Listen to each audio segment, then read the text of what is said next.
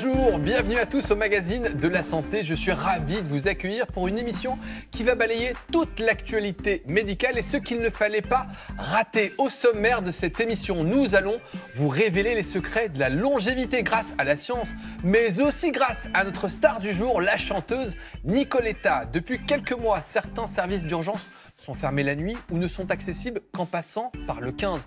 Est-ce la solution idéale? Pas sûr jus de citron comme crème anti-rides ou encore de l'ail sur le visage comme anti-inflammatoire. Nous irons du côté des réseaux sociaux où ces remèdes de grand-mère cartonnent, mais est-ce réellement efficace et surtout sans danger? Et puis la bonne nouvelle du jour, des chercheurs français ont découvert un traitement pour guérir des enfants atteints de malformations du visage. Tout ça évidemment, c'est dans la joie et la bonne humeur grâce à notre équipe et nos invités et vous ne m'en voudrez pas si je commence par notre star du jour qui est évidemment Nicoletta, dont on a le plaisir d'avoir sur le plateau.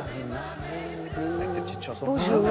Bonjour. Bien vous entendre. Bonjour Nicoletta, on est ravis de vous accueillir pour cette émission euh, longévité. Et justement, si vous avez un conseil à donner aux gens pour rester en forme le plus longtemps possible, ce serait quoi? C'est de marcher tous les jours, c'est de bien dormir, faire des siestes et de bien se nourrir en choisissant ses aliments. Eh ben, je crois Et d'éviter le sucre. Eh ben, on a fait le tour de toutes les questions. Merci Nicoletta, on n'a plus rien à dire dans cette émission. Et on a le- la chance aussi d'avoir le docteur Antoine Pio, notre gériatre préféré que le magazine de la santé connaît très très bien. On rappelle que vous êtes gériatre du côté de Toulouse et on a déjà des SMS avec Annette qui nous dit j'ai vu que le docteur Antoine Pio venait aujourd'hui, quel plaisir de le revoir. C'est un copain, c'est un pseudo, Annette.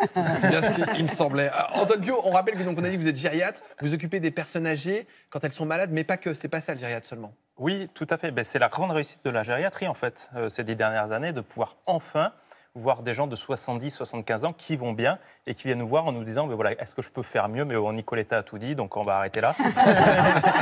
Non, n'hésitez pas, c'est quand même le moment de nous poser vos questions. 41 555 par SMS, allodocteur.fr et sur Twitter, hashtag santé F5. Emma, vous avez un secret, une routine longévité, une routine beauté? Non, moi j'ai prévu de prendre beaucoup de notes pendant cette émission-là. Eh ben, Merci de votre honnêteté parce que justement, j'attendais ça de vous, de la franchise. Benjamin Lévesque, vous avez euh, une petite astuce, vous, la meilleure crème anti-rides? Alors, c'est les crèmes anti-âge, effectivement, qu'on nous vend dans le mais on verra lesquelles sont vraiment efficaces. Eh bien, on a hâte de savoir ça. On commence par un traitement miracle. Et cette fois, c'est loin d'être une formule toute faite.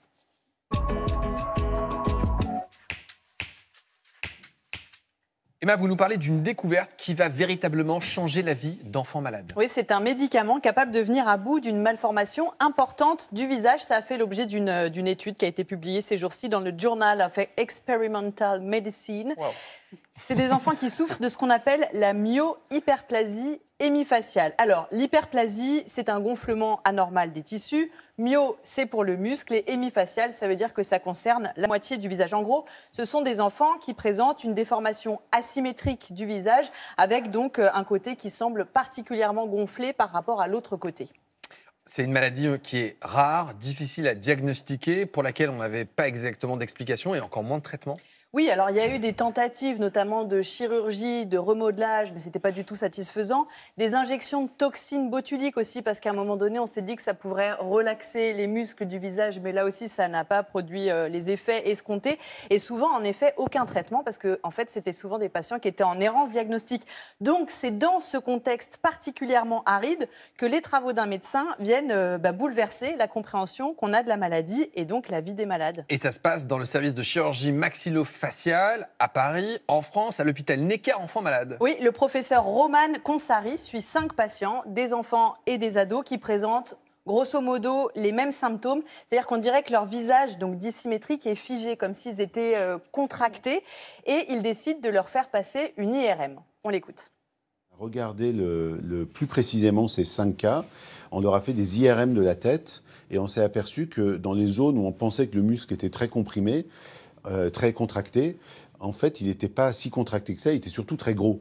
Et ça, c'était pas évident parce que sur, le, sur leur faciès, on avait vraiment l'impression que c'était une contraction, que c'était pas une hypertrophie. Mais en fait, dans l'IRM, c'était une hypertrophie.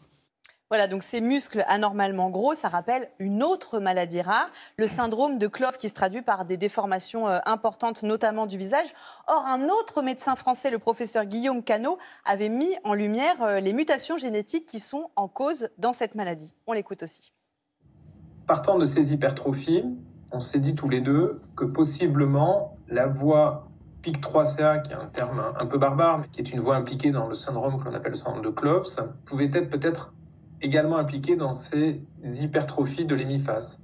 On a réalisé des biopsies musculaires de la face chez ces patients. On a réalisé ensuite un séquençage génétique et sur les biopsies des cinq patients, on a trouvé cinq mutations PIC3CA, donc une mutation à chaque fois. Ce qui veut donc dire que PIC3CA est bel et bien impliqué dans ces hypertrophies musculaires chez les enfants atteints de ce syndrome-là. Et résultat, les cinq euh, jeunes patients sont donc euh, traités de la même façon que dans le syndrome de Cloves, grâce à une molécule qui à l'origine avait été développée dans la prise en charge du cancer. Les résultats sont spectaculaires. Rapidement, euh, les muscles du visage semblent dégonfler sous l'effet du traitement. Alors c'est un médicament à prendre quotidiennement, probablement à vie. Et c'est pas que esthétique. Hein. Manifestement, il y a une amélioration fonctionnelle aussi pour ces patients, notamment du, au niveau de la parole. Voilà, on avait envie de la partager avec vous parce que c'est une très très belle histoire de médecine, une victoire aussi de la recherche française. Et ça, c'est fabuleux de voir des, médecins et des chercheurs qui sont très impliqués auprès de leurs patients. Une intuition aussi, une déduction et puis surtout un médicament qui va changer la vie de ses patients en leur redonnant euh, un visage. Euh, voilà, c'est fabuleux. Bah, vous avez raison, c'est une très belle histoire. Et c'est aussi ça le magazine de la santé. On parle de la recherche française, de l'excellence, on parle parfois des problèmes, mais des choses qui marchent bien. Merci Emma, vous restez avec nous parce qu'évidemment, on va commenter avec vous toute l'actualité. Du côté des urgences, le ton se durcit à Carhaix, en Bretagne. Jeudi dernier, des manifestants ont protesté contre la régulation des urgences la nuit. Depuis cet été, les habitants doivent appeler le 15 avant de s'y rendre. Ils ne peuvent plus y aller directement. Les explications de Sybille de Barthès, David Lemarchand et Hervé Droguet. À Carré, petite commune de près de 7000 habitants, la colère ne faiblit pas. Depuis début septembre, les habitants protestent contre le fonctionnement dégradé des urgences la nuit. Je suis inquiète et en colère. Il y a, les deux forcément, puisque, puisque c'est pas juste de fermer ce centre qui, reste le, centre Bretagne, donc un, centre important pour toute une population. Gens de la campagne Campagna, on va encore être obligé de faire une heure, une heure et demie pour aller euh, avoir le moindre, le moindre accès aux soins. Quoi. La nuit, les Carésiens n'ont plus directement accès aux urgences. Ils doivent appeler le 15. Ce mode régulé, c'est la solution trouvée par la direction pour répondre au manque de personnel soignant de l'hôpital. À partir de 18h30, seul un médecin assure l'accueil sur place et les déplacements sur le terrain, contre deux praticiens en journée. Dans la nouvelle organisation des urgences, justement, le SMUR, donc la structure mobile d'urgence et de réanimation, en fait les véhicules et les équipes médicales embarquées dans ces véhicules qui nous permettent d'aller soigner les gens sur le terrain, euh, n'est pas modifié en fait. Nous, on a régulé les urgences pour permettre au SMUR de fonctionner de façon normale. On, a toujours une ligne de SMUR qui peut partir toute la journée et toute la nuit, 24 heures sur 24, sur l'ensemble du territoire. Mais dans les faits, ce sont justement ces sorties SMUR de nuit qui inquiètent le personnel de l'hôpital. Bah, le problème, c'est que si l'urgentiste, comme il n'y a qu'un médecin, si le SMUR est sorti, le médecin n'est pas là. Il n'y a plus de médecin aux urgences. Le SMUR, il est parti pendant trois heures. Euh, s'il y a une autre urgence vitale sur Carré, comment ça se passe? Dans ces cas-là, seule solution pour le 15, diriger les patients vers des établissements voisins. Quimper, Morlaix ou Brest. Il faut entre 45 minutes et 1h30 en voiture pour s'y rendre. Selon la mairie, cette régulation des urgences annoncerait une réorganisation plus vaste de l'hôpital. Quand vous avez des urgences fermées, ben les autres services ne fonctionnent pas. On pense qu'il y a peut-être une vraie volonté d'assécher les services de l'hôpital de Carré pour le fermer définitivement un jour. En, réalité, c'est un véritable scandale sanitaire qui est en train de, se jouer ici à Carré. Je sais que ça se joue aussi ailleurs en France, mais ici, nous sommes à une heure de route hein, de, de principaux centres urbains. Donc évidemment, la population se retrouve véritablement abandonnée. Pour le moment, ni l'Agence régionale de santé de Bretagne, ni la direction de l'hôpital n'ont fixé une date de réouverture des urgences 24 heures sur 24. Alors c'est vrai que cette situation elle est compliquée. Antoine Pio, on rappelle que vous êtes gériatre et en temps normal, les personnes un peu âgées, fragiles ne devraient pas trop passer par les urgences. Et du côté de Toulouse, vous avez essayé un petit peu d'améliorer, de, réorganiser les choses? Oui, alors en fait, on l'a fait en deux parties. La première partie, c'est de développer ce qu'on appelle des post-urgences, c'est-à-dire des, séjours, des courts séjours gériatriques très étroitement liés avec les services des urgences pour que les gens attendent le moins possible sur des brancards dans des locaux inadaptés et soit pris en charge avec plus d'expertise. Et le deuxième point, c'est de développer l'ambulatoire, c'est-à-dire la consultation, les hôpitaux de jour, premièrement pour prendre les gens directement depuis le domicile ou depuis les maisons de retraite, et deuxièmement pour ne pas tout faire à l'hôpital, faire des sorties rapides et faire revenir les gens pour des choses moins urgentes, plus programmées. Donc on voit qu'il n'y a pas de solution euh, parfaite, mais qu'il faut essayer de s'adapter, euh, malheureusement, Absolument. de, de faire avec et de faire au mieux. Euh, il est euh, 13h47. Bienvenue à ceux qui nous rejoignent. Pas de panique. Il reste encore énormément de sujets à traiter, et notamment les bénéfices du sport quand on est atteint de cancer. Et en fin d'émission, vous retrouverez In Vivo consacré à une colocation étonnante. Nous suivrons des patients atteints de la maladie d'Alzheimer en région parisienne. Mais tout de suite, Benjamin Lévesque nous fait du bien avec sa chronique beauté.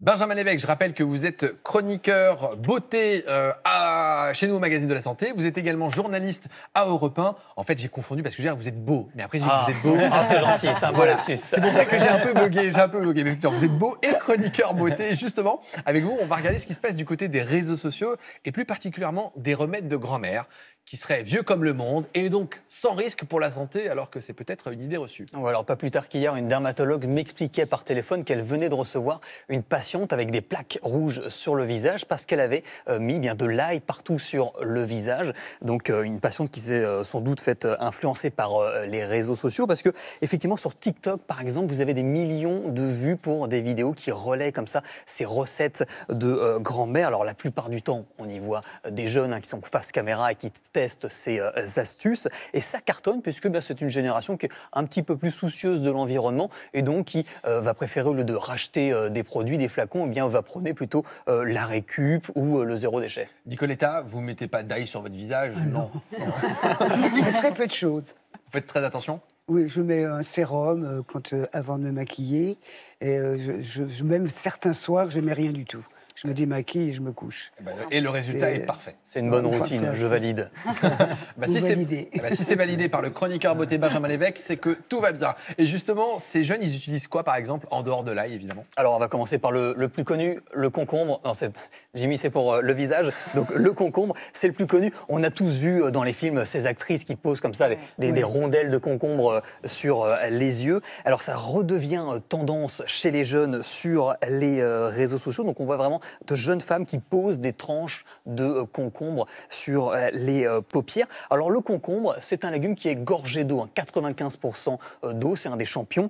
Et en fait, cette, cette capacité à, à- à être fortement hydraté, eh bien, ça va lui donner cette, cette capacité à, à retenir, à conserver la fraîcheur. Et donc, en fait, le froid sur les yeux, ça va avoir un petit effet décongestionnant, ça va Moi, j'avais diminuer un petit peu essayé, le... c'est vrai qu'on a un petit peu cette sensation fraîcheur, c'est agréable. Et puis ça, ça, ça fait dégonfler un petit peu euh, l'œdème si on a des allergies aussi euh, euh, notamment. Et en fait, donc ce côté rafraîchissant, euh, c'est pas le concombre en tant que tel. hein. Il n'y a pas une molécule dans le concombre qui agit sur l'œdème. C'est plutôt le froid, puisque vous pouvez, vous pouvez utiliser par exemple une cuillère en métal. Vous la placez dans le réfrigérateur le soir et au petit matin, eh bien vous la ressortez, vous la placez sur vos paupières et ça aura le même effet. C'est ce que vous utilisez, Antoine Pio, vous Oui, d'ailleurs c'est- ce que j'allais dire. Non, c'est Moi, vrai je fais avec des fourchettes, mais ça fait des stries. et des couteaux.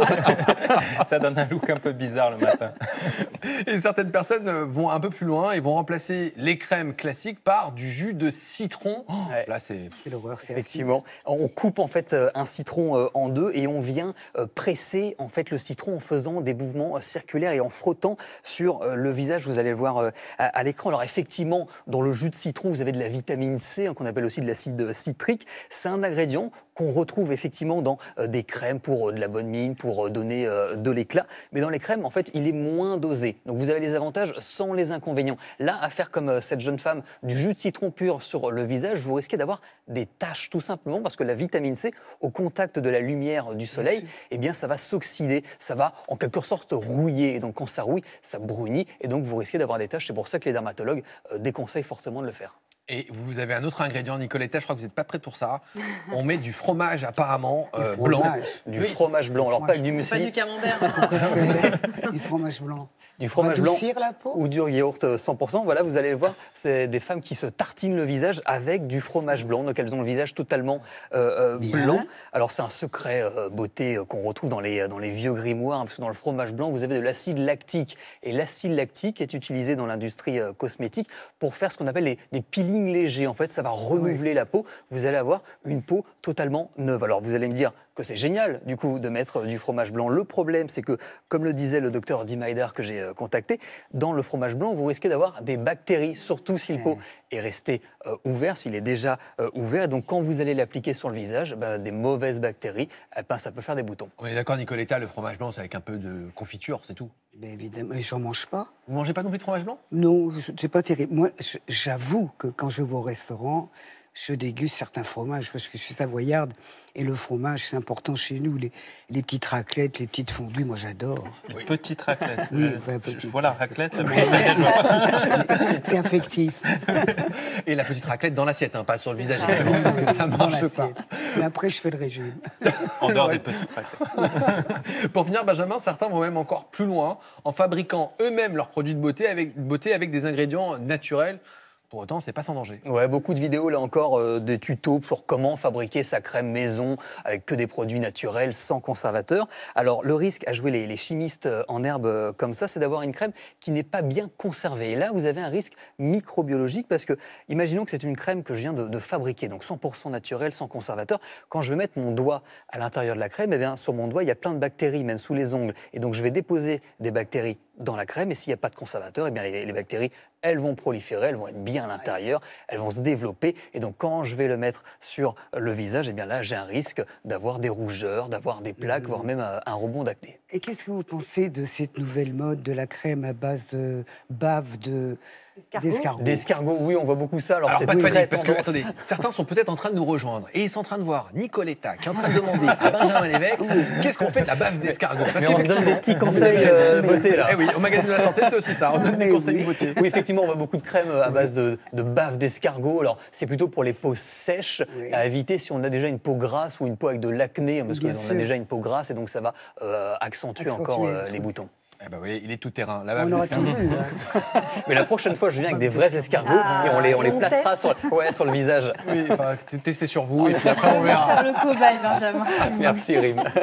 Eh ben, vous restez avec nous parce que dans quelques instants, vous allez aussi nous parler d'une crème anti-rides qu'on devrait forcément avoir. Ouais, je vais la mettre de côté, euh, Jimmy. Eh ben merci, c'était gratuit. Vous pouvez rentrer chez vous. On est ravis. Vous avez peut-être vu passer ces informations. Un jeune chanteur de 94 ans nommé Hugo Frey vient de se marier et un autre jeune chanteur prometteur qui débute du nom de Mick Jagger, âgé de 80 ans, et bien sort son nouvel album. Quels sont les secrets de la longévité? On vous révèle tout tout de suite.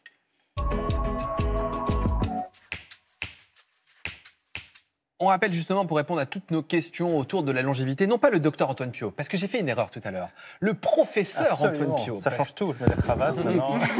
oui, effectivement, on rappelle que vous êtes gériatre, professeur du côté de Toulouse et l'immense Nicoletta, évidemment.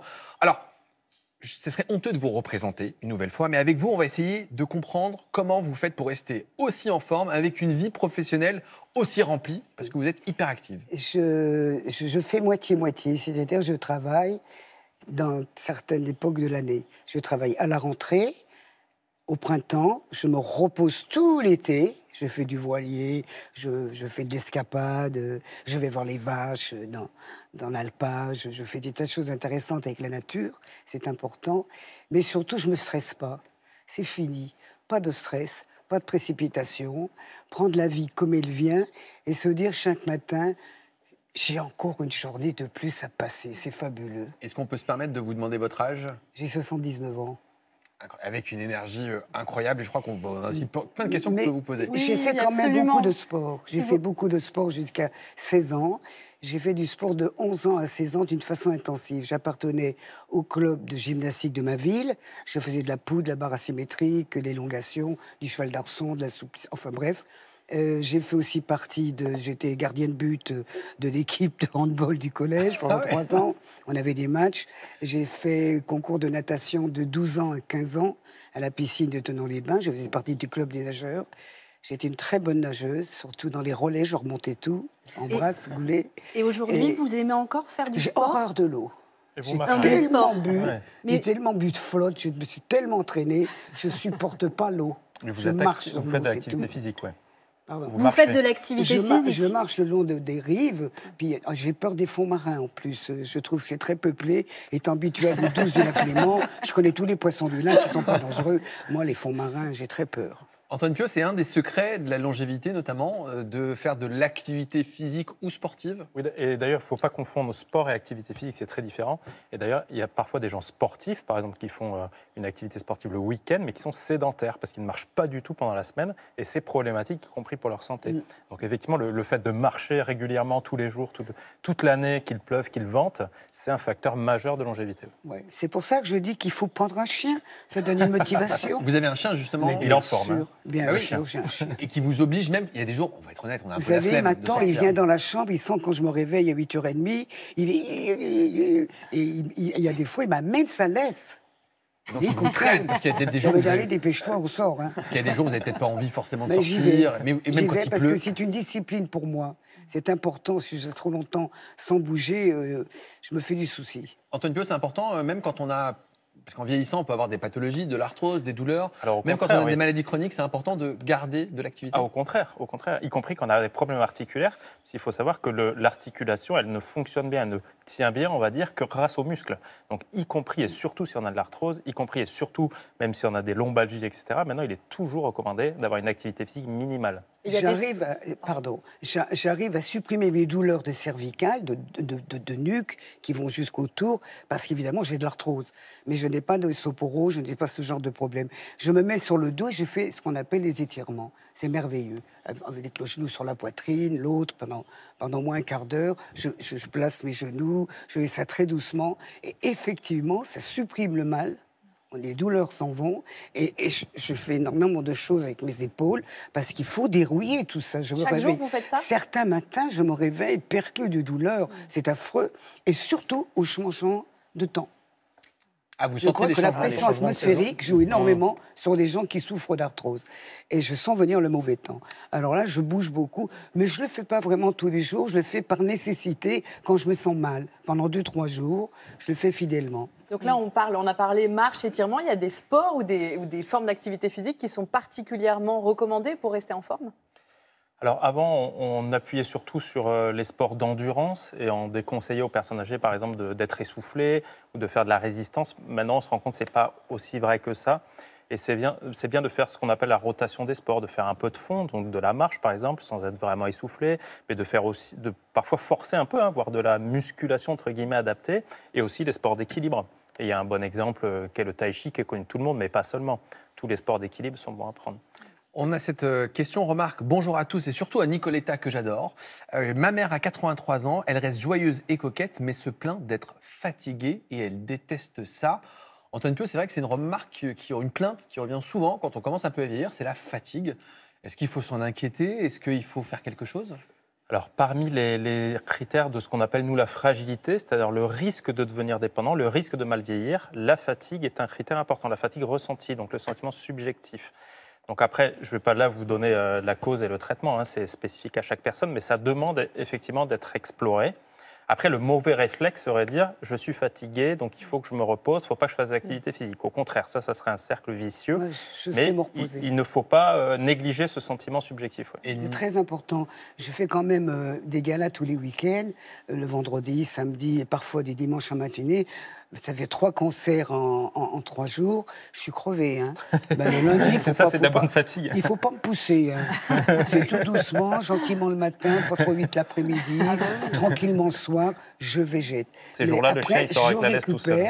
Parce qu'il faut pas non plus s'user, il faut faire très attention. Vous dites ça, mais vous avez à votre actif plus de 5000 concerts quand même. faut pas s'user. Faut, faut pas, s'user. mais- faut y être tranquille. ça, ça fait quand même plus de- ça fait 57 ans que je chante.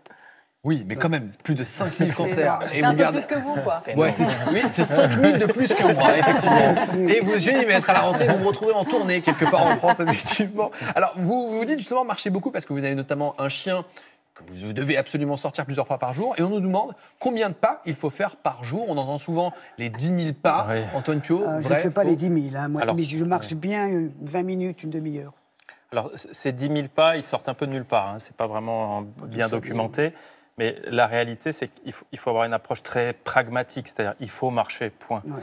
Et en fait, on se rend compte que 95 voire 99% des Français sont sédentaires. Donc chaque pas en plus est un pas gagné. Donc ça veut rien dire de fixer à 10 000, 5 000, juste marcher un maximum, arrêter de prendre la voiture pour faire 500 mètres, ça fera du bien à la planète en plus. Et de manière générale, essayez de mettre ça dans votre routine quotidienne. Parce que la sortie du week-end ne suffit en rien, ne suffira jamais. Si ben, par je- exemple je fais une heure de sport par jour, est-ce que c'est bon? C'est nul Non, c'est très bien. Non, mais, Il euh, n'est pas du tout décourageant. Est-ce que si je fais une heure de sport euh, le matin, Non, je non, me dis c'est- bon bah c'est bon, j'ai plus besoin de marcher, Ah, mais- je peux rester Non, chez non. moi. Si, si, non, une heure, c'est beaucoup une heure de sport par jour. Mais Surtout, il faut avoir une routine qu'on peut tenir indéfiniment, entre guillemets. Parce que si vous prenez la bonne résolution du nouvel an et que c'est fini en février, il, reste pas mal de mois dans l'année. Quoi. Vous avez vu Nicoletta, ces petits jeunes, la flemme qu'ils ont Ah ouais, Je fais c'est une heure de sport et puis après c'est fini. Mon fils Feignasse. fait 10 km par matinée, deux fois par semaine avant d'aller à son travail. C'est pas mal. Ouais, c'est un un Il est sportif, producteur, mais c'est un vrai sportif. Il est suisse et savoyard. Il a fait du ski dès son plus jeune âge. C'est un très bon skieur et il marche vraiment très fort. Il est très très bon. Et c'est important de lutter justement contre la sédentarité. Et justement, nous avions rencontré en juin dernier Charlotte, certainement la doyenne des yogistes. Un reportage qui vous donnera envie de vous mettre au yoga, signé Inès Pamplonne, Arthur Lorette et Nathalie Vincenti. Elle est sans doute la doyenne des yogistes de France. Charlotte a 100 ans. Elle a passé la moitié de sa vie à pratiquer le yoga et à donner des cours. Ça étire et ça fait du bien. Ça fait du bien dans la tête, ça fait du bien au corps. J'espère en faire le plus longtemps possible. Là, j'ai plus de 100 ans. Je ne sais pas combien de temps ça va durer. Faut que je, faut que je bouge. Pendant ce siècle de vie, Charlotte a toujours mis son corps en mouvement. Ski, équitation, tir à l'arc. Ah, mais je voulais vous dire que j'avais fait du patin roulette. Beaucoup de sport et une alimentation toujours équilibrée. Au menu du jour, concocté par ses soins, J'ai des betteraves rouges avec des mandarines. C'est très bon. Une omelette. Et puis ici, des carottes, courgettes, euh, oignons et de la crème. Pour être en bonne santé, il faut manger des légumes. Voilà.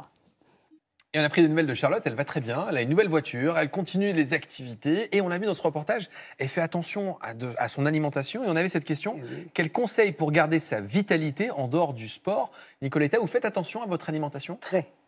Le matin, je mange très peu, mais en tournée, je mange. Je mange des- un kiwi, je fais deux œufs coques, parce qu'il y a la protéine dedans, il faut que j'ai de la force. Et euh, à Paris, euh, je mangerai très peu. Je mange une banane pour le potassium, pour le cœur. Et euh, là, je vais changer, je vais arrêter la banane, j'ai pris tout l'été. Je vais passer au kiwi le matin. Ça, c'est pour le petit Mais je déjeuner, mange- ça? Je mange très peu au petit et, et- déjeuner. et pour le reste de la journée, vous Le avez un- déjeuner, je mange un plat, c'est tout. Je mange pas de dessert. Là, j'avais grossi, c'était parce que. raclette. je me suis pas- non, mais entre les filets de perche et la raclette et tout le reste, euh, et les desserts, je me suis pas privée. Alors maintenant, il faut que je. Pas de régime quand même. C'est pas un vrai régime, c'est je fais attention. Une hygiène. Je supprime le sucre, je supprime les desserts, Une hygiène de je vie. supprime euh, le- le- les confitures, je sucre mon café si j'en ai vraiment envie au miel, petite cuillère de miel. Et puis, alors je fais une chose incroyable, c'est mon, mon compagnon qui fait ça. Il me fait chaque jour en ce moment une décoction de citron vert, 12 poignées, 12. euh, comment ça s'appelle euh, euh, Girofle. girofle, 12 poignées de girofle, oui, c'est deux, deux feuilles costaud, de, de laurier et euh, de la cannelle. Il fait infuser, on passe, on attend, et je le bois froid, c'est délicieux, ça picote. Et je bois ça tous les jours. Ça nettoie, ça fait du bien. Pas de soda, de trucs comme Ah ça. non, non, jamais, jamais, jamais. Antoine Pio, c'est vrai qu'on ne fait pas forcément le lien entre la longévité, le fait de vivre très longtemps et l'alimentation. Pourtant, il faut faire attention à ce Oui. qu'on mange en fait au quotidien. Évidemment, il faut, faut surtout l'apprendre très tôt. Et, et c'est vrai qu'on a tendance à se dire, mais les gériatres, il faudrait peut-être les mettre à la maternelle et à la primaire. Non, mais c'est vrai, pour faire de Bah l'éducation à l'hygiène, parce qu'on prend des habitudes, même gustatives, notamment le sucre, le sel, euh, très très tôt dans la vie. On a justement cette question, on parle de régime, notamment de régime alimentaire. Les bénéfices des régimes alimentaires comme le régime méditerranéen sont-ils prouvés? On rappelle que ce régime méditerranéen, on mange des fruits et des légumes, Oui. des légumineuses, du poisson, des oléagineux avec des noix, des amandes, Des- et on fait fait. attention avec la viande rouge. Ça, ce régime méditerranéen, pour Alors, bien faut, vieillir, faut faire attention au, au mot régime, parce qu'en fait, c'est un- une, alimentation méditerranéenne, mais c'est absolument pas une un régime dans le sens restrictif, c'est-à-dire on n'a pas faim à la fin du repas. Parce que ça, ça fonctionne pas. Et après, ça, c'est prouvé, ça fonctionne même très bien, notamment sur les maladies cardiovasculaires, le risque de cancer. Mais il y a peu de gens qui l'adoptent. hein. Et moi, je suis toulousain, les gens, ils sont persuadés de manger méditerranéen, mais le steak frites, c'est pas du tout méditerranéen, quoi. Donc, ça- il y a un peu une interprétation très française de ce qu'est le régime méditerranéen. Donc, ça serait bien que les gens s'y replongent un peu pour voir de quoi il s'agit exactement. On a cette question comment atteindre un grand âge en étant en bonne santé en gardant tous ses esprits, donc toute sa tête On- comprend qu'avec euh, votre activité, vous faites travailler votre mémoire au quotidien, vous faites attention. Je, mais, moi, je fais beaucoup de voyages en TGV pour rejoindre les villes dans lesquelles je chante. J'ai toujours mon cahier de textes. Je chante une heure et demie. Et euh, je vérifie tous mes textes. Dans- le train? de- Et parfois, dans le train. Et parfois, euh, en m'endormant, je refais mon tour de chant mentalement. Ça, ça fait je, partie, Antoine je euh, rediscipline Oui, euh, oui, mais ma, ma mémoire, parce que sinon, si j'arrive 3-4, youpi, non. Non, il faut se préparer, il faut avoir digéré les textes, parce que sinon on arrive, on fait le dernier couplet avant le premier, on sait plus où on en est. C'est compliqué. C'est vrai que le lien entre tous les chanteurs qu'on a cités tout à l'heure, c'est que c'est des gens très actifs, euh, qui ont énormément de stimulation intellectuelle et qui ont une vie sociale très riche. Oui. En fait, ça c'est quelque chose qu'on dénirait un peu. hein. On préférait regarder euh, l'attention, la biologie, etc. C'est important, mais en fait, si on prend du recul, c'est largement plus important d'être intégré socialement. Et ça, c'était clairement démontré scientifiquement. Donc la stimulation sociale est, un facteur de longévité Mais majeur. Je, je crois que la musique, la musique, enfin le fait de chanter, j'avais un otorino il y a des années qui me disait Oh, vous inquiétez pas, vous vivrez longtemps, parce qu'un tour de chant correspond à un 2000 mètres. Ah oui, donc vous en avez fait des Ah mètres alors, effectivement. Non, mais je veux dire, quand, on court 2000 Ah bah oui, mètres, oui, oui, c'est parce qu'on respire, on souffle, on, enfin les chanteurs à voix, bien sûr. Quand tu respires avec le haut de ta poitrine, ça mène pas grand-chose. Chacun a sa voix. hein. Moi, j'ai la chance de respirer profondément.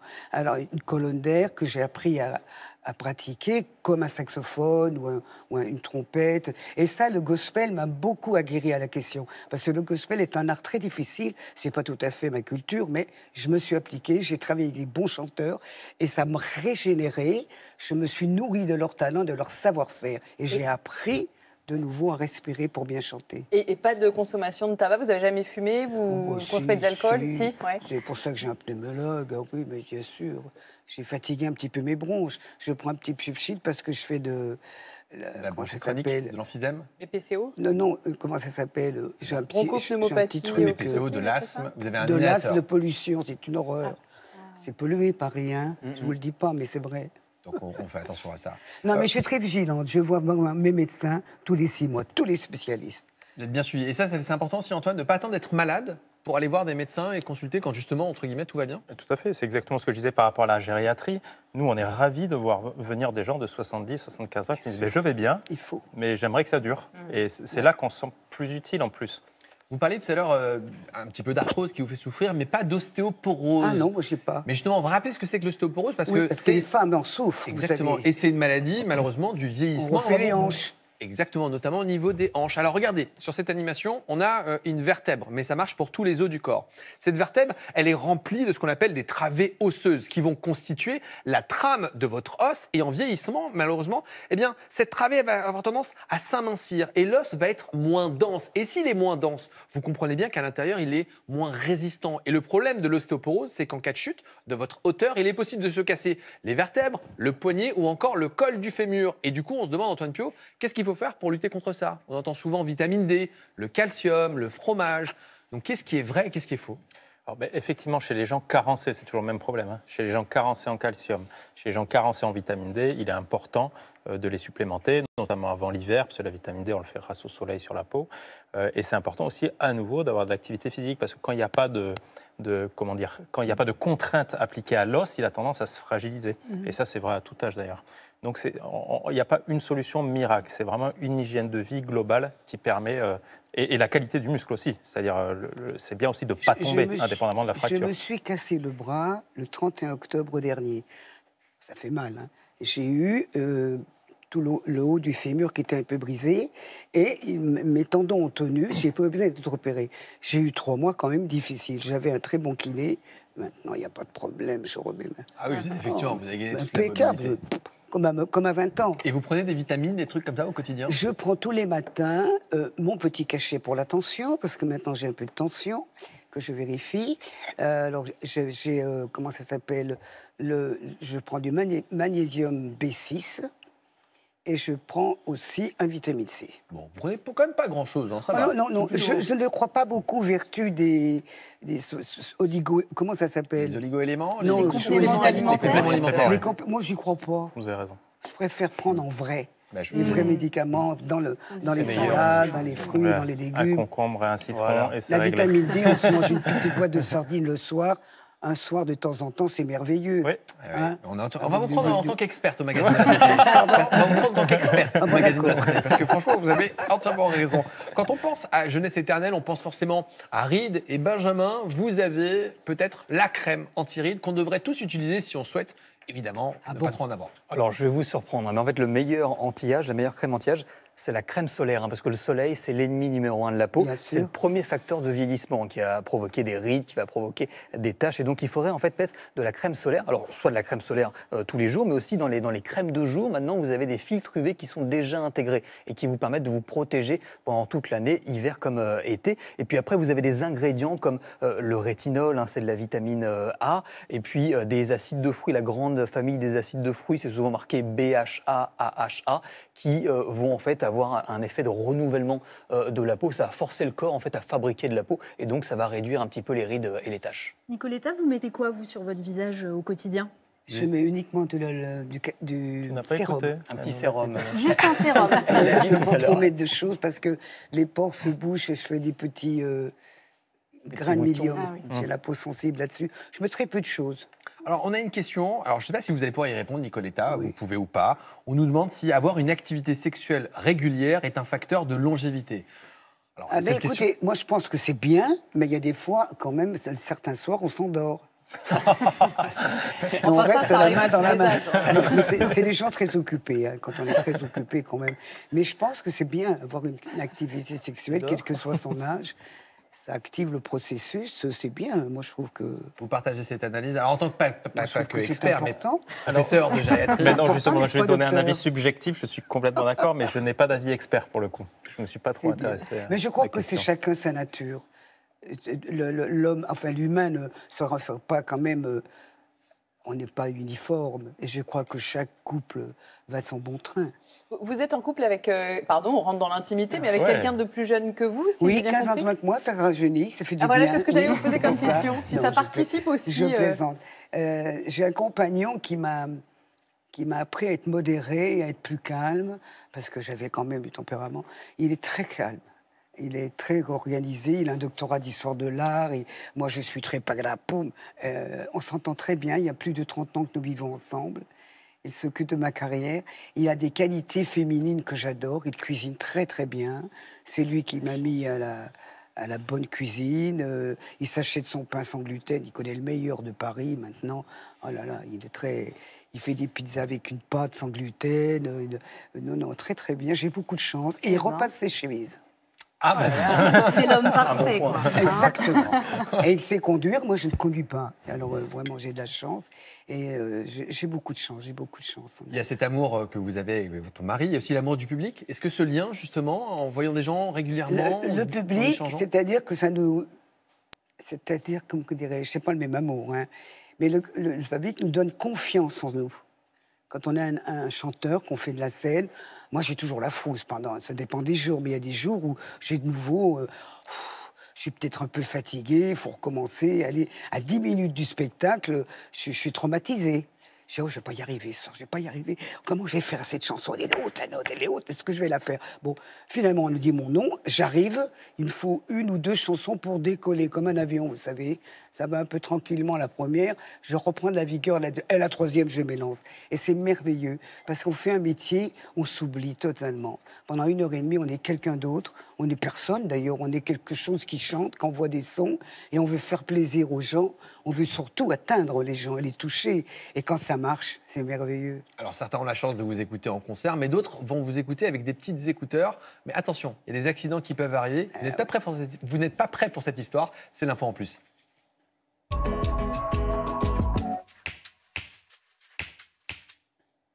Je me lance là ça Ah bah y est. Ah oui, oui, Ah, oui, je- eh ben, je vais vous raconter l'histoire d'une américaine qui s'appelle Tana et qui a raconté cette, euh, ce qui lui est arrivé, son expérience sur les réseaux vidéo vue quasiment 4 millions de fois. Donc, ce qui se passe, c'est que le matin, elle fait sa petite promenade et là, elle rencontre une copine. Donc, elle était en train d'écouter de la musique. Évidemment, elle enlève son écouteur pour papoter avec cette copine qu'elle n'a pas vue depuis longtemps. Et puis, elle se rend compte qu'elle n'a pas pris sa petite vitamine. Donc, euh, elle est assez cachée dans la main, etc. Ça a du mal à passer. Elle prend un peu plus d'eau que prévu. Finalement, les deux femmes se quittent. Au revoir, à bientôt, etc. Elle reprend sa route. Elle s'apprête à remettre son écouteur. Et ben là, je vous laisse écouter la suite. C'est elle qui raconte. Quand j'ai voulu prendre mes AirPods, mes pilules étaient dans ma main. J'ai avalé mes AirPods. J'ai avalé mes AirPods. Elle avalé. Les écouteurs à la place des vitamines. Voilà. ouais. Ouais, ouais, ça fait cher les vitamines, hein, au passage. elle ne savait pas trop quoi faire. Elle a appelé des Elle copains, elle a appelé des médecins. Elle Comment peut les récupérer, je vous fais pas un dessin. Attendez, cassez pas ma chute tout de suite. Justement, tous les conseils qu'elle a reçus, c'est ça, bah, laisse la nature faire, tu vas voir, ça va se passer tout seul. Et c'est ce qu'elle a fait. Alors tout ça est très documenté, parce qu'avec les réseaux sociaux, on a plein de vidéos avec euh, les followers qui s'inquiètent. Alors, comment ça va? T'en es où? Tu les as récupérés? Et on a pu suivre en effet une image où on lui a posé cette question et elle nous dit... Je vous remercie, tout va bien, j'ai bien récupéré tout ce qu'il fallait. Voilà, je ne sais pas, par contre, l'histoire ne raconte pas si elle a réutilisé son écouteur depuis. Effectivement. Elle est dans les oreilles, je crois, sur la vidéo. dans la vidéo, ouais. Elle en a eu, elle a les deux Elle a les deux Et on a, oui, et, euh, je, je- non, je crois que je vais même pas réagir à cette histoire parce qu'effectivement, je pense qu'il n'y a pas grand-chose de plus à dire. Franchement, c'est une histoire assez euh, invraisemblable. On passe euh, au à Rim qui répond à toutes vos questions, et notamment cette question sport et cancer sont-ils compatibles?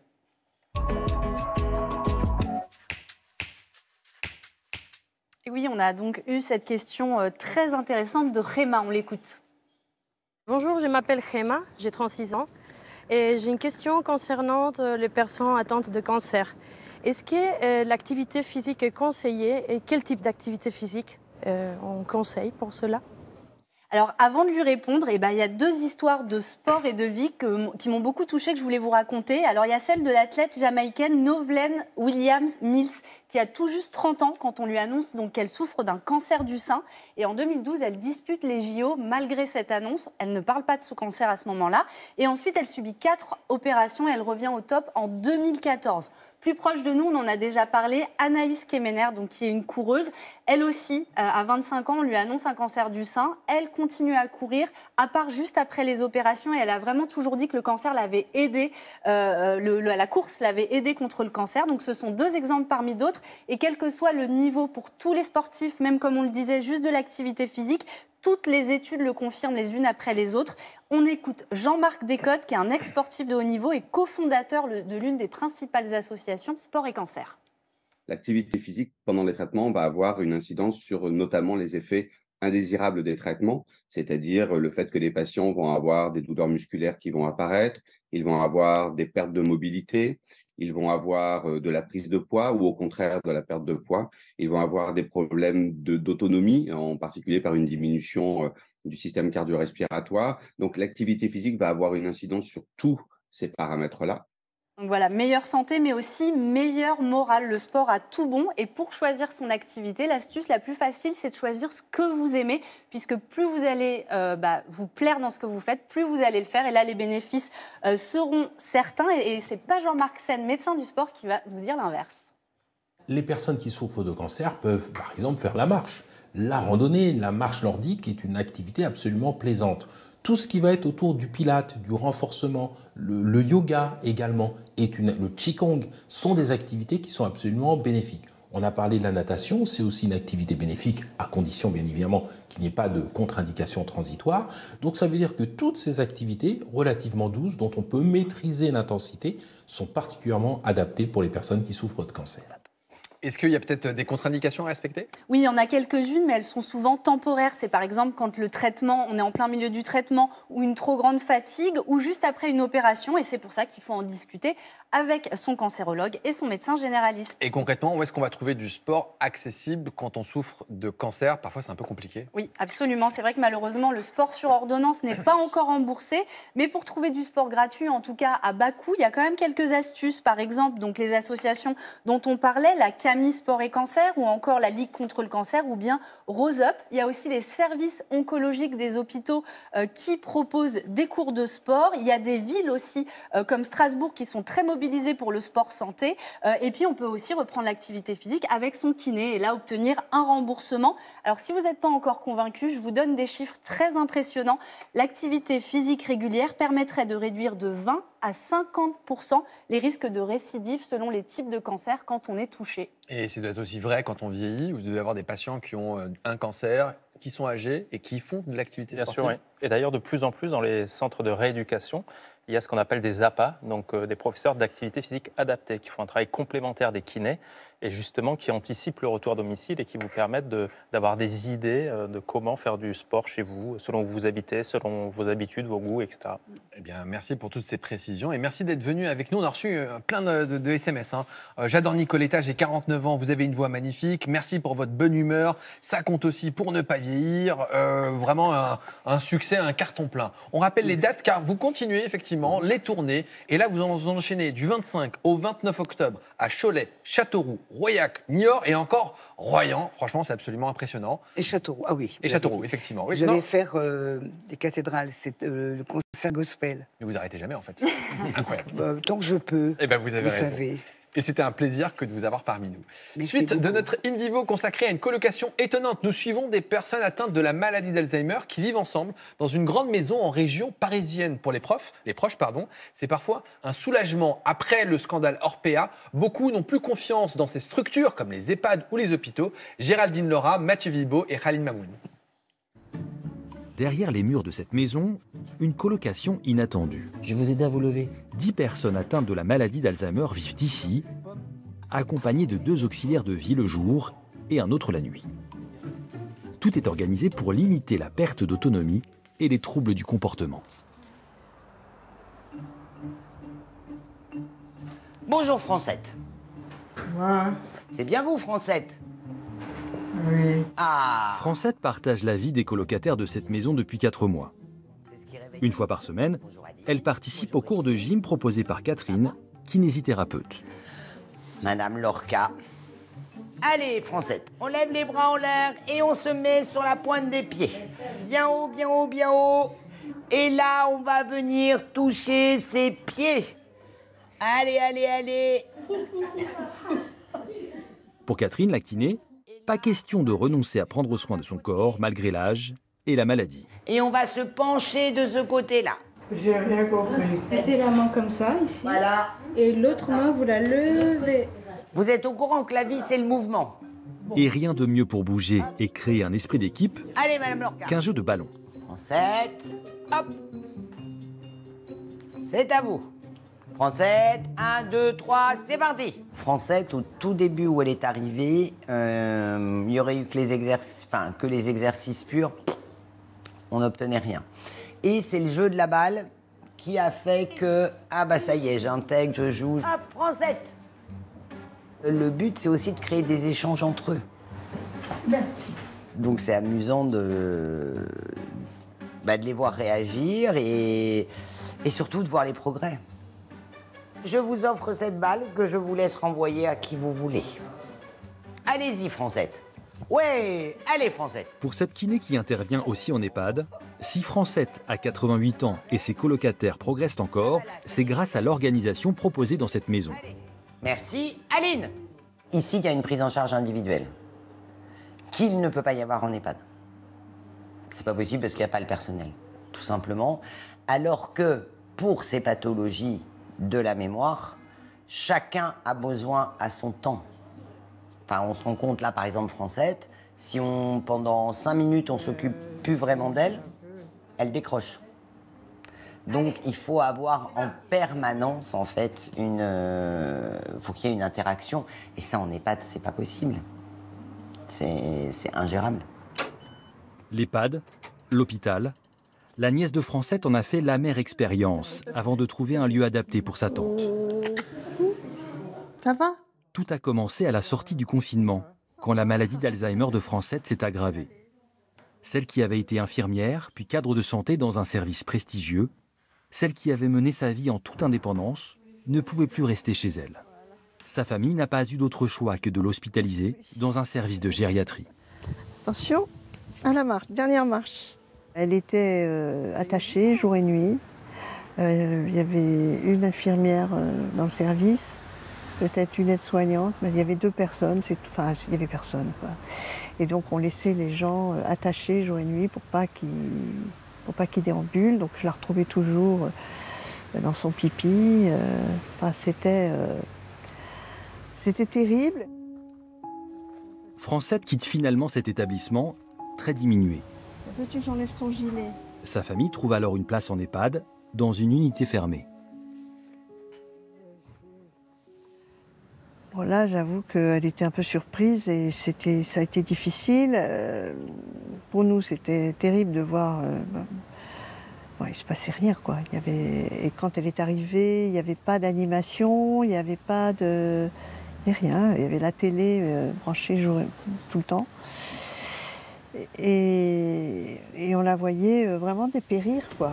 Ça va mieux? Formidable. Oh, pour moi aussi, c'est pareil. Formidable. À force de recherche et de détermination, la nièce de Francette a finalement trouvé une place pour sa tante dans cette maison partagée. Elle mange à nouveau, euh, elle a pris du poids, elle a, physiquement, elle a repris, quoi. Elle a repris. Elle va pas retrouver ce qu'elle a perdu, mais il y a des moments d'apaisement. Et puis surtout, on est en contact, on est informé, il y a un ensemble de choses qui sont euh, sécurisantes pour elle et pour nous. C'est un endroit merveilleux. J'en arrive à me dire, c'est l'endroit où on voudrait tous terminer si on avait cette, cette maladie. C'est une maladie terrible. Et on se rend compte dans ce reportage, effectivement, qu'il y a peut-être d'autres solutions que les EHPAD et qu'on peut essayer de garder les personnes malades, fragiles ou dépendantes de façon un peu différente. La suite de cet épisode, ce sera demain. Demain, émission consacrée au petit déjeuner. Vous retrouvez Marina. En attendant, passez une belle après-midi. Merci encore, Nicoletta. C'est moi qui vous remercie. Et je vous dis à bientôt sur France 5.